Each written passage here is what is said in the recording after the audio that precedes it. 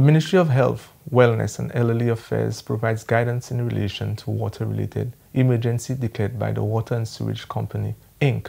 on Tuesday, 14th May 2024 to reduce the possible associated health risk, potential impacts, and provide essential safety measures to mitigate against adverse effects.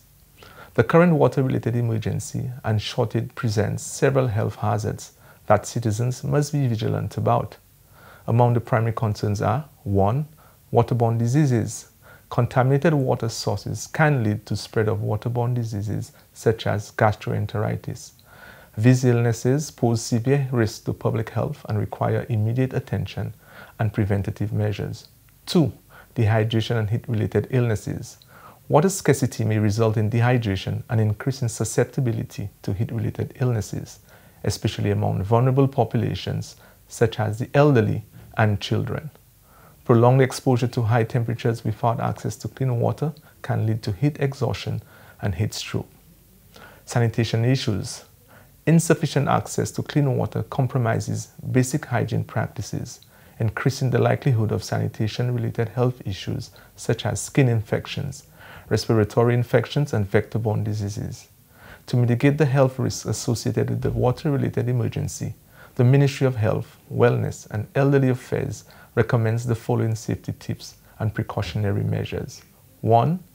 Boil water before consumption when boiling, ensure that all drinking water comes to a rolling boil to eliminate potential pathogens and contaminants. Alternatively, utilize bottled water from trusted sources. 2. Practice proper hygiene. Maintain good hygiene practices by washing hands thoroughly with soap and clean water, especially before eating or preparing food and after using the bathroom. 3. Stay hydrated. Drink plenty of fluids to prevent dehydration particularly during hot weather conditions. Opt for bottled water or property, properly treated water sources. 4. Monitor symptoms. Be vigilant for symptoms of waterborne diseases, heat-related illnesses, or any other health concerns. Seek medical attention promptly if symptoms arise. 5. Conserve water. Implement water conservation measures to reduce strain on existing water resources. Use water sparingly and avoid wastage wherever possible. 6. Seek assistance if needed.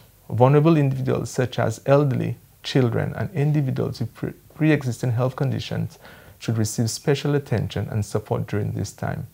Community support systems and healthcare facilities are available to provide assistance if needed. The Ministry of Health, Wellness, and Elderly Affairs emphasizes the importance of proactive measures in addressing the current water-related emergency.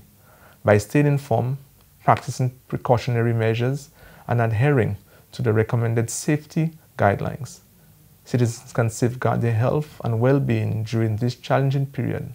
For further information, contact the Environmental Health Department at telephone numbers 468-3700 or 468-3704 or 3719.